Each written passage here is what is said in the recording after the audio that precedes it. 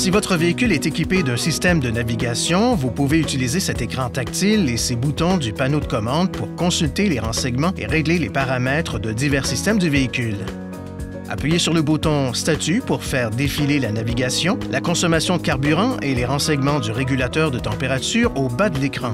Appuyez sur le bouton Info pour afficher un menu d'options d'information sur le véhicule ou sur le bouton Réglage pour accéder à une mise de réglage qui peuvent être ajustées selon vos préférences. Il est possible de sélectionner ou d'ajuster les éléments affichés à l'aide de l'écran tactile.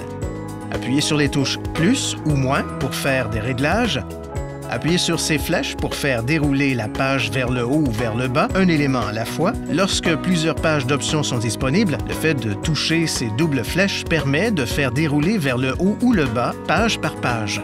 Vous pouvez également utiliser le contrôleur Infinity afin de modifier les réglages à l'écran. Tournez le sélecteur pour surligner un réglage, puis appuyez sur le bouton Enter, entrer au centre du sélecteur pour le sélectionner.